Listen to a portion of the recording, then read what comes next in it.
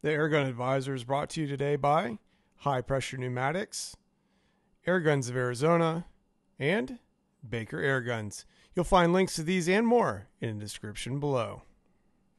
Let's have some fun at 25 yards just so you get a little taste of the accuracy that this Gauntlet 30 has.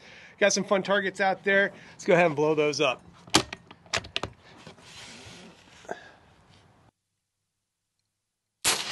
Boom! Dang on.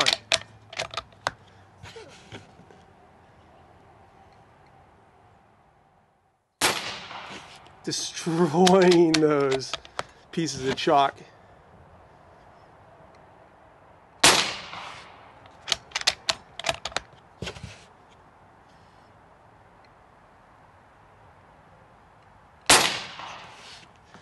Well, since this is a hunting gun, we gotta hunt some animals. What we got out there? Looks like an elk. I'm thinking 25 yards. It's a young one. You can tell by how small it is. Let's see what we got. Let's go for a lung shot right there. Boom! Got the elk. This is a hunting gun like no other, especially for the price point. point 25 yards. Easy targets down there, especially once I got my holdover taken care of.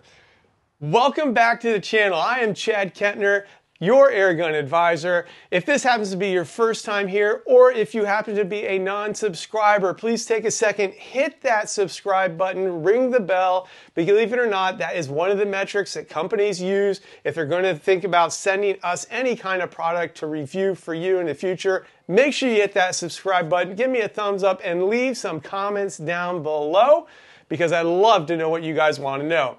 Today, well, what are we looking at today? Today we are looking at an Umarex Gauntlet. Now, this isn't the original Gauntlet. This is the Umarex Gauntlet 30. So this is the 30 caliber Gauntlet. And this thing is shooting not only, okay, shooting 30 caliber pellets, which are huge if you've never seen a 30 caliber pellet before. It is shooting over 100 foot-pounds of energy, pushing these things, and this is the 44 grain, I believe, over a thousand feet per second. So this thing is moving and grooving. And uh, not only that, it's accurate. And we'll get some accuracy data here in just a little bit. But let's run over the features that this particular air gun has. First and foremost, you've got the adjustable cheek piece down here, which is a nice addition that Umarex placed on their gauntlet line. We have right here for the scope mount, we have both a Picatinny and a dovetail rail that are milled into the same piece of aluminum. So whether you like dovetail or you like Picatinny rail, whichever one you have, you're golden, you're good to go. Shrouded barrel, we have at the very end of this barrel, one half by 20 threads. So if you want to quiet it down any, and it is a little loud, so you may want to do that. Of course, we have a air cylinder up here that holds 4,500 PSI. This is an aluminum air cylinder, similar to what you might be used to if you've used Ninja airgun tanks or maybe you shot paintball a long time ago. Very similar to that, but this one's actually very big because it holds 4,500 PSI. Now, something else I like on the bottom side here, you have an M-LOK rail. So if you want to add any of your M-LOK flashlights or maybe even like a little rail for a bipod, you can do that too. And nice gauge on the side here. Before I put this back down, you see the gauge right there? Yeah, take a look. Yep, nice, easy to read. As a matter of fact, that is a Ninja gauge, so you know that's quality. Over on this side here, the fill port, look at that. You're not going to need any kind of special fill equipment other than your quick disconnect. It goes right here in the side. Umarex, of course, continuing to listen. Thank you, making this filling process easy. And then let's go take a look at the bolt system here because I think that's pretty unique.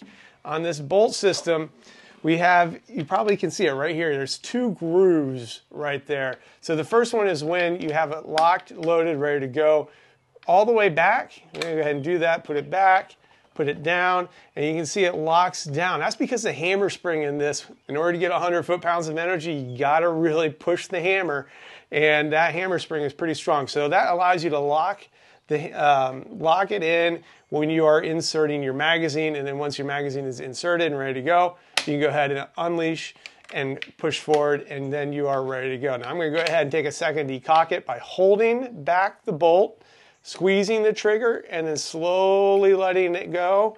That is one way that you can disarm an air gun, uh, but always make sure you're still pointing that in a safe direction, especially if you happen to have a magazine in here.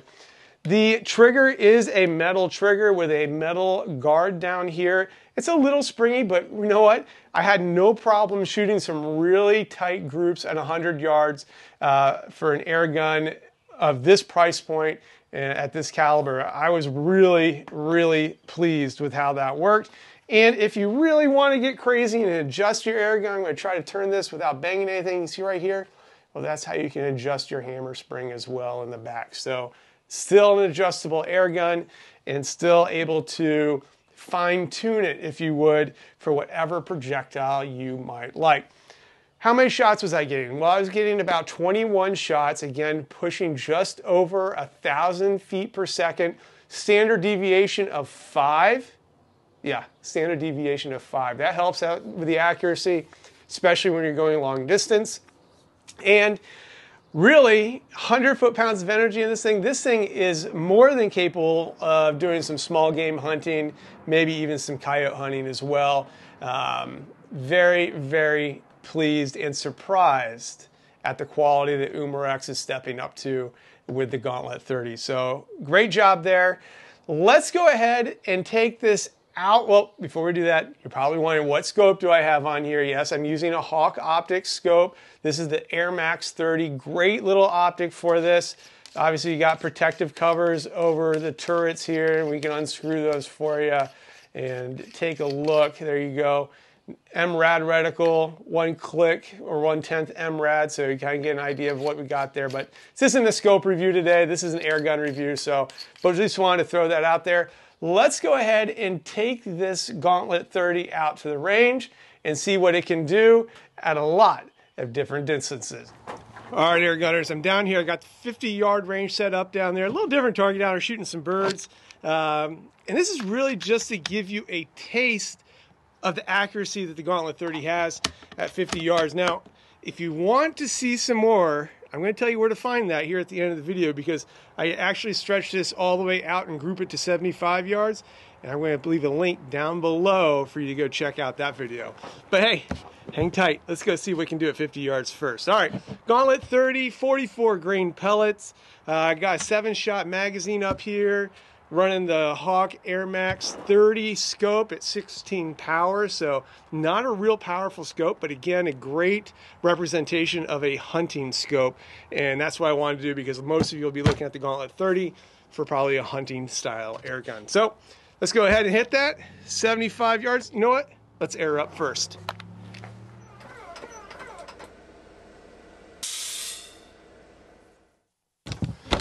Always important to get sure you got your air tank filled up. All right, 75 yards. Oh, no, no. 50 yards. Remember, 75 yards is going to be on that other video? See what I did there? All right, here we go. 50 yards.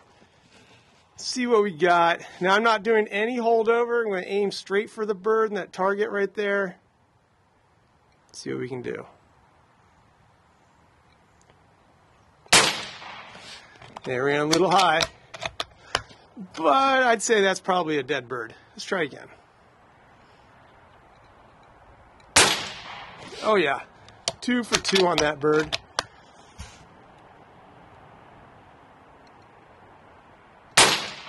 Oh, same hole out of the Gauntlet 30. Love that. Let's do it again.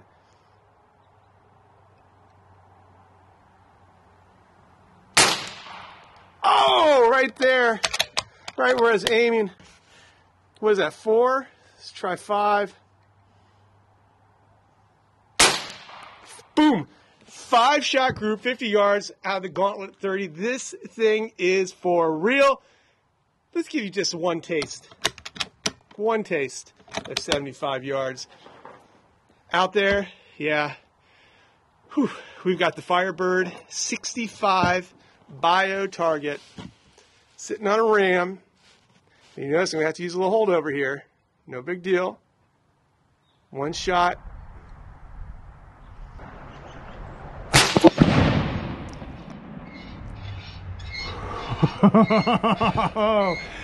That's 75 yards, my friends.